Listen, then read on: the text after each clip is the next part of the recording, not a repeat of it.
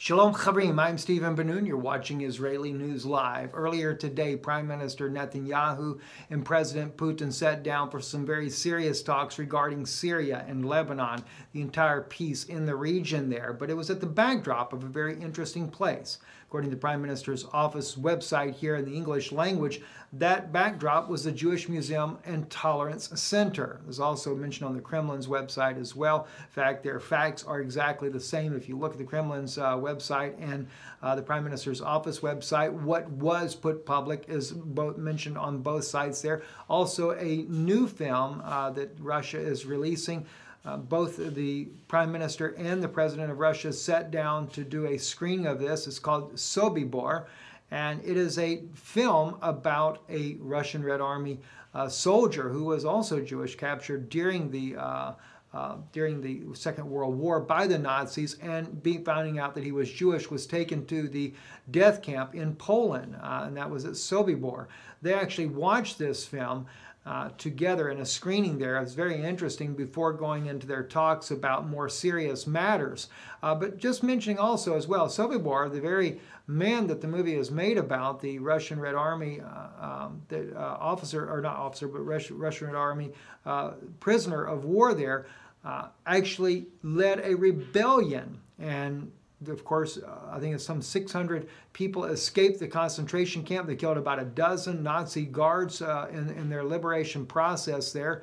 And very interesting, 100, 100 of the people were captured and taken back to the camp, but 600 of them actually escaped there. Well, the, the man that this was made about actually just died this year here in 2018. His name was Arkady uh, the last known survivor of the Nazi Sobibor death camp, has died in Ukraine. He was 96 years old. The Berlin-based Memorial to the Murder Murdered Jews of Europe said Monday that the Vaispapir died on January 11th in Kiev. Born in southern Ukraine, Ukraine in 1921, Vaispapir was captured by the Germans while serving in the Soviet army and eventually shipped to the Nazis' Sobibor camp in occupied Poland in 1943 because he was Jewish kind of a little interesting side note. Kind of going back though to the meeting itself, the Haaretz is also reporting that Prime Minister Netanyahu is very firm about the stance that Israel needs to take, and that is one, they would not tolerate uh, Iranian based missile factories in Lebanon, as well as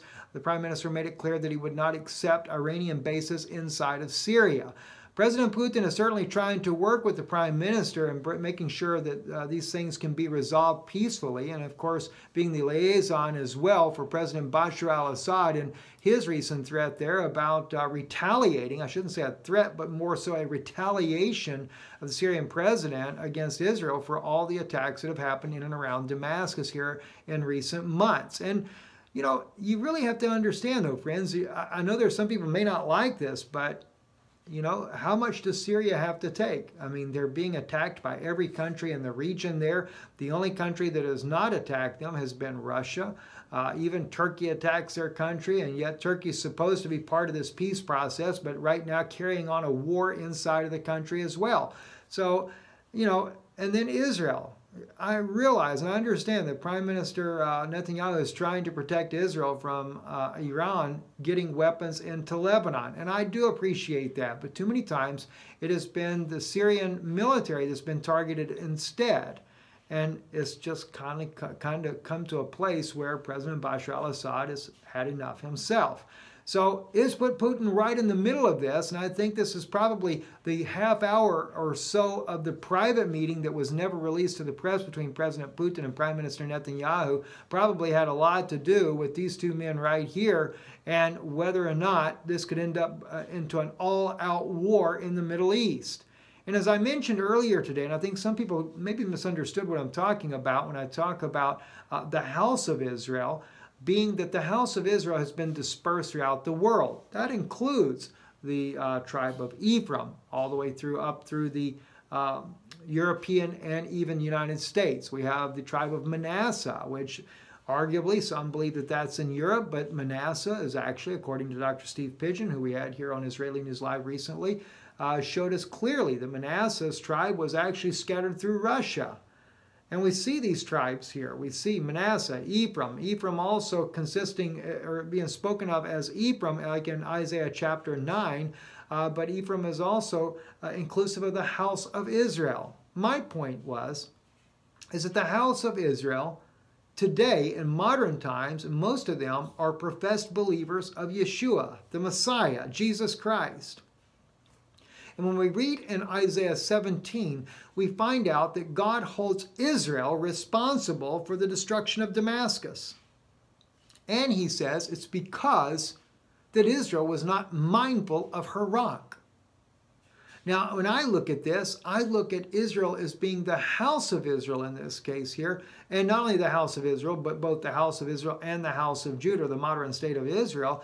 And this is including the modern state of Israel. Includes Russia. It includes the United States. And when I said NATO, that's not to say that the, Israel is NATO. That's not my point there. My point is is that the descendants of the house of Israel that ended up believing the message of Jesus Christ, later forming the different churches of today, not, not everybody in the churches are Jews. Uh, that's not the point either. So let's make sure we make that clear.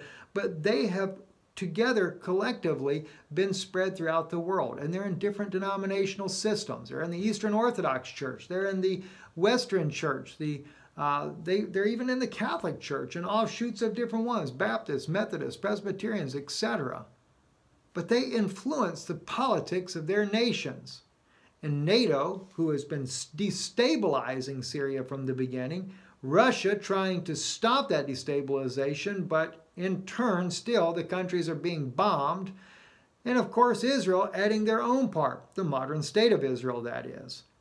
And so, therefore, when God says that you have forgotten the rock of your salvation, that makes me think more along the lines of those that claim to believe that Yeshua is the Messiah. And this is the reason for the fall of Damascus. Don't forget, God says that the fortress of Ephraim as well would fall as a result. Now, I don't know how well we can pull this up on the screen, but I will try to pull it up. I know it's when we're doing this with our uh, portable camera here, it's not as easy as the others there. But let's just quickly go here to Isaiah 17 and just look at this once again. And I'll make it as big as we possibly can. Maybe that way you can see it a little bit better on your screen. Damascus is taken away from being a city, it shall be a ruinous heap. All right.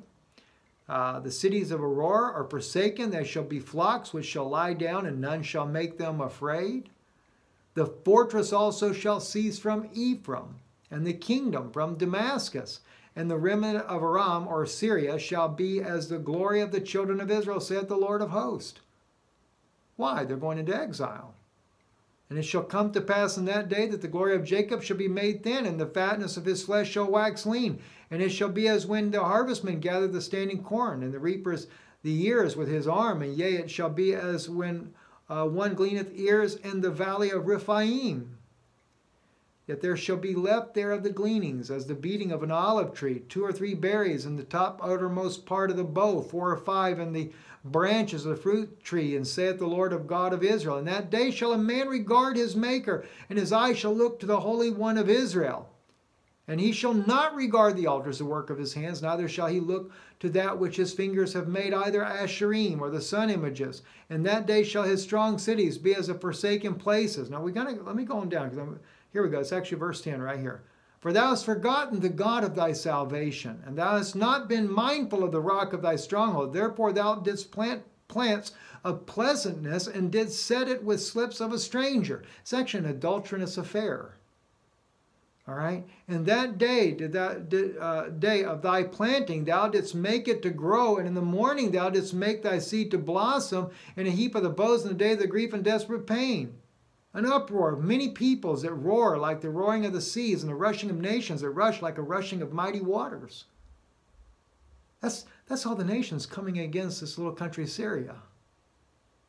You know, and yet, as I've said over and over and over on here, the mothers of Israel are Syrians, not Lebanese. Anybody tells you they're Lebanese, I mean, that really takes pretty much an idiot to think that the mothers of Syria are from Lebanon when it was very clear that Jacob crossed the Jordan River. He went over Mount Gilead.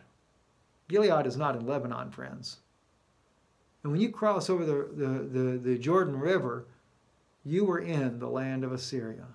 And of course, he goes up to Haran, which is on the eastern side of the Euphrates River, to get Leah and Rachel. Rachel was his heart, but he ended up getting Leah as well. And of course, their, their, uh, their handmaids as well, he bore children to them. Our 12 tribes of Israel are all Syrians. These are the mothers of Israel. And so, therefore, as Laban said, making that promise, if you have any other wives other than my daughters, God be a judge between me and you. Now, isn't it interesting how he talks about planting those pleasant slips? And as I said, if you look at this in the Hebrew language, there, it's an adulterous uh, affair, is what's going on. That planning of the pleasant slips there, and uh, don't have that right here for you here, but that's exactly what it is. Um, and that's exactly what Israel, what the United States, what NATO has all done in conspiring together. And you got together with Rome and brought this huge jihad against a government that was protecting the children of Ephraim, some of the remnants of Ephraim there in Damascus, the oldest known Christian community in the world. What a shame. I'm Stephen Ben-Nun. You're watching Israeli News Live. Shalom.